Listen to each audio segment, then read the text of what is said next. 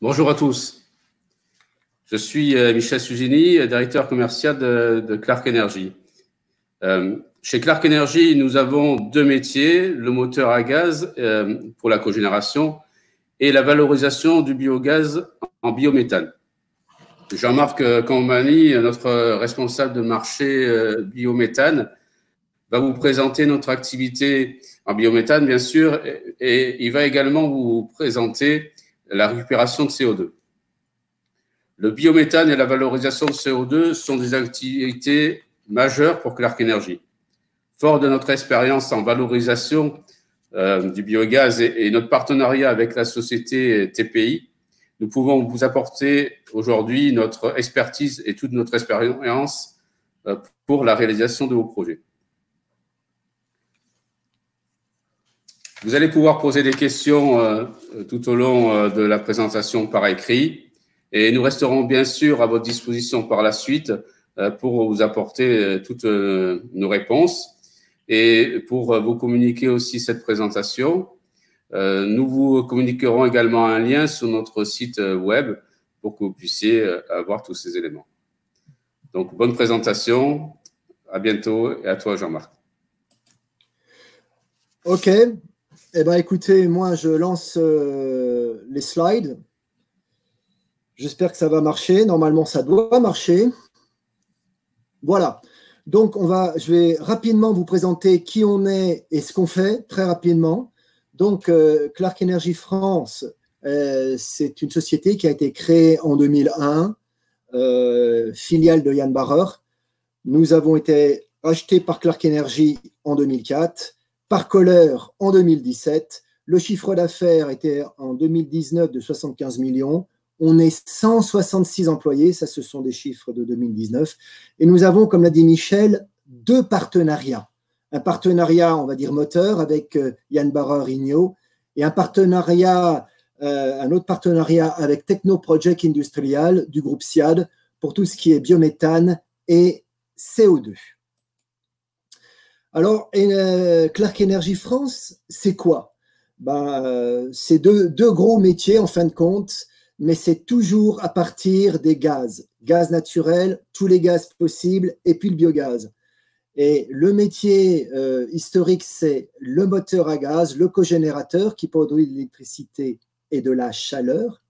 Et puis, euh, c'est également au niveau du biogaz, eh bien, une technologie qui est la technologie membranaire, qui est la nôtre, et qui produit du biométhane et du bio-CO2.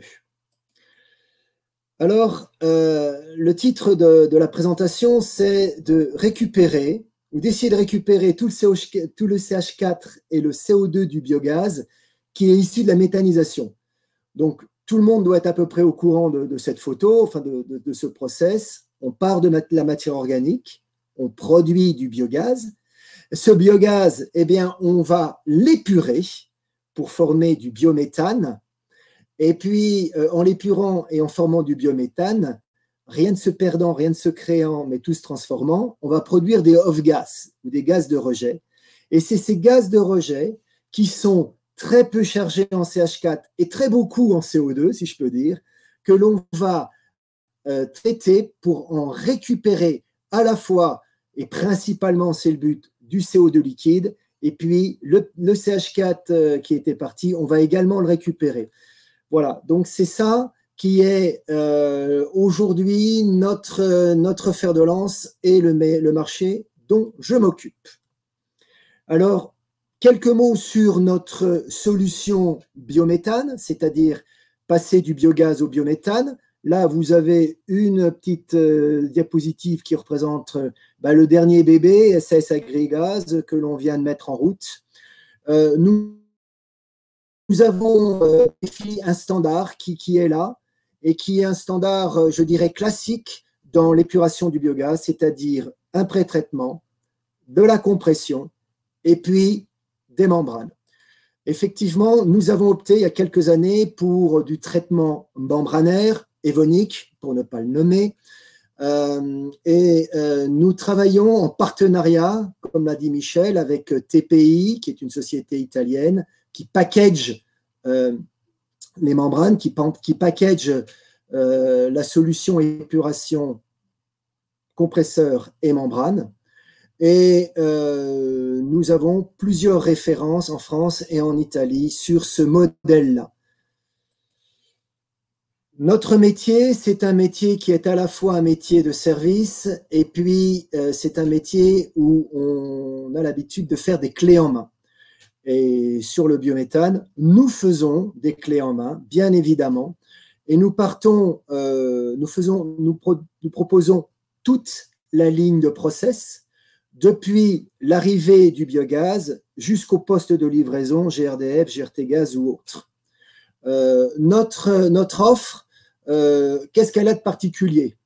Elle a de particulier que c'est une offre qui est établie par des gens qui ont l'habitude de faire de la maintenance et de l'exploitation.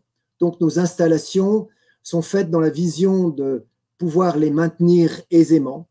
Euh, et étant donné que nous nous inscrivons également dans la durée, euh, nos installations, eh bien, elles, sont performantielles. Et pour qu'il y ait de la performance, eh bien, il faut qu'on puisse suivre ces performances en temps réel et c'est pour ça que nous avons un suivi analytique et supervision de premier ordre. Euh, depuis le départ, euh, nous utilisons de la chromatographie en phase gazeuse, par exemple, et puis nous avons mis en place euh, un suivi performantiel, un monitoring tout à fait particulier pour que l'exploitant puisse produire le maximum de biométhane avec, je dirais, des OPEX, c'est-à-dire des coûts d'exploitation minimes. Voilà. Ça, c'est quelque chose de relativement connu, j'aurais presque tendance à dire très connu. Ce qui est plus nouveau, plus nouveau en tout cas euh, sur le marché français, c'est la récupération du CO2 euh, sur les off-gas. Et cette récupération du CO2, on l'a fait, elle est faite, elle existe, il y a pas mal de références en Italie, j'espère bientôt en France, et le process qui est mis en avant, c'est le process de liquéfaction cryogénique. C'est-à-dire que le CO2, qui est sous sa forme gazeuse, va être pré-traité, on va retirer les impuretés, et parmi les impuretés bah, se trouve ce fameux CH4 que l'on va récupérer, parce que le but, c'est faire du CO2 et du CO2 liquide. Et la mise en place, la du process, c'est une mise en place d'un process cryogénique je ne rentre pas dans le détail technique parce que le temps m'est compté, mais, sachez que voilà, on part d'un off-gas et puis on arrive à un CO2 liquide. Le CO2 liquide qui est produit, il est de qualité alimentaire.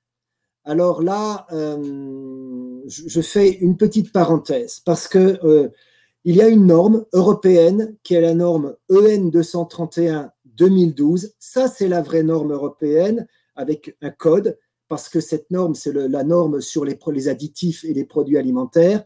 Et il y a un code qui est le code E290 qui est spécifique au CO2.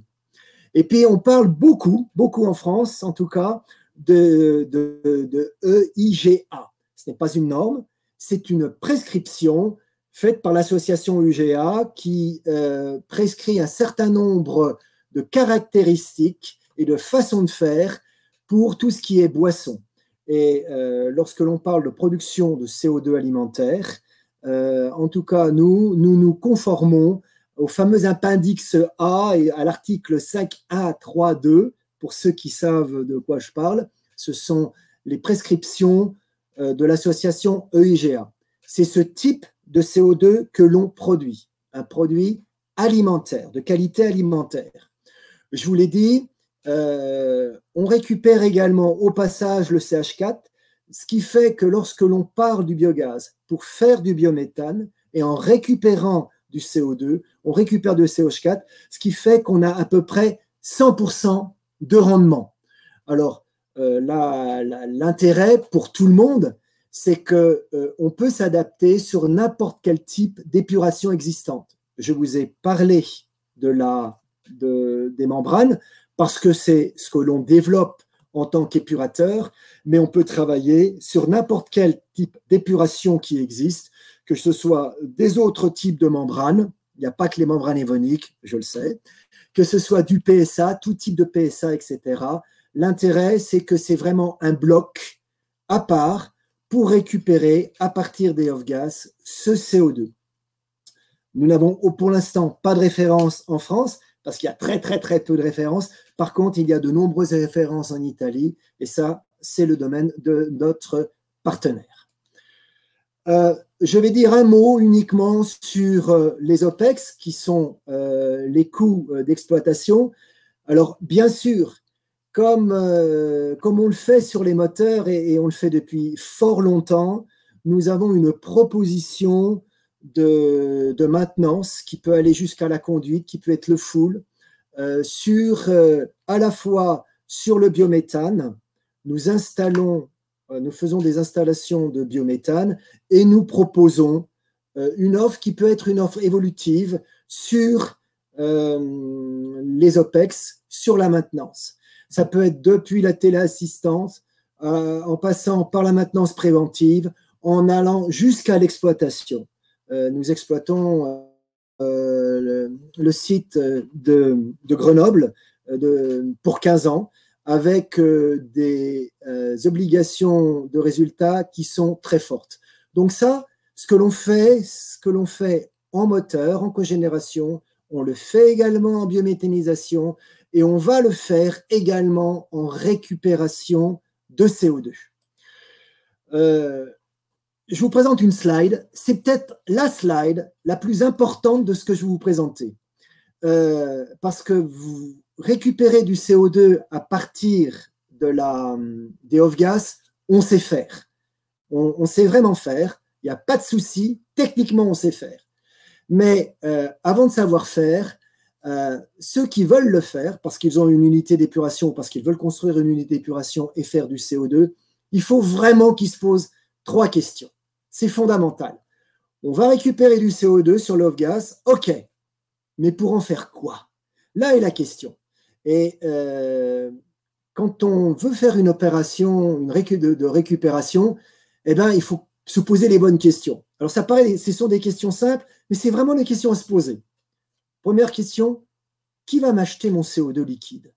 Et euh, c'est vraiment un marché. Il y a un marché du CO2 et il faut vraiment pénétrer ce marché, être accompagné pour euh, savoir comment ce marché fonctionne, à quel coût euh, ce qu'il faut savoir, c'est que euh, la récupération de CO2 et le CO2 liquide, c'est un marché qui est très local, avec des coûts qui peuvent aller à la tonne de, CO2, qui peuvent aller de 40, 50 euh, euros à 200 euros en fonction de l'offre et la demande. Et puis donc, en fonction de ça, est-ce que ça va être rentable de mettre en place une unité de récupération de CO2 et de CH4 Voilà, quand on se pose ces questions-là, euh, on se les pose, quand on a les réponses, alors là, je peux vous dire qu'on on, s'aperçoit ou pas que euh, récupérer du CO2, c'est rentable, voire très rentable, ou pas du tout. Et nous, on est là pour vous faire une proposition de, récupération. Alors, euh, ben écoutez, je pense que le temps qui m'était imparti se termine. Donc, j'en ai terminé. Je vous ai laissé mon adresse email pour que vous puissiez euh, me répondre. Il y a une question, je la vois, et c'est la question qui, qui donnera lieu à un autre webinaire. Oui, nous pouvons récupérer du CO2 à partir de la cogénération et à partir de tout type de gaz. Mais ça, c'est une autre histoire, c'est un autre webinaire, et nous vous donnons rendez-vous pour celui-là. Voilà. Bien, merci, euh, Jean-Marc. Euh, effectivement, donc, euh, il y a d'autres solutions technologiques pour récupérer le CO2, notamment sur, les moteurs. On, a étudié la question et donc on pourra revenir plus largement sur ce sujet. Je voulais revenir aussi sur notre compétence sur la partie biogaz, puisqu'en amont de, toute la partie épuration de ce biogaz en, en biométhane, euh, nous avons euh, euh, donc un process de traitement du, biogaz que, l'on maîtrise aussi depuis plusieurs années sur différentes applications.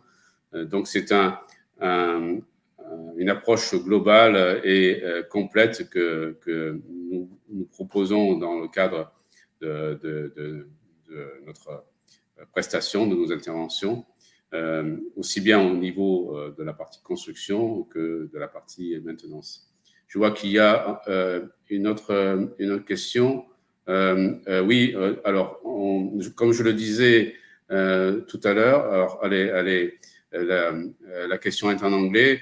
Um, you, you will have the link uh, to the website and in our website, on the Clark Energy website, uh, you will have the presentation and, uh, and uh, also uh, uh, all the data you will need from Clark Energy.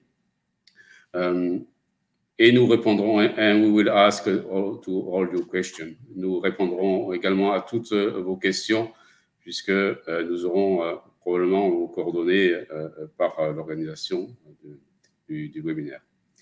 Voilà, je pense que on, a, terminé cette présentation. Merci beaucoup pour votre attention. Euh, et puis, nous sommes bien sûr à votre disposition pour aller plus loin sur euh, l'ensemble de, ces sujets. Nous avons noté toutes les questions. Nous n'avons malheureusement pas le temps d'y répondre aujourd'hui, mais nous revenons vers vous euh, avec, avec toutes ces réponses.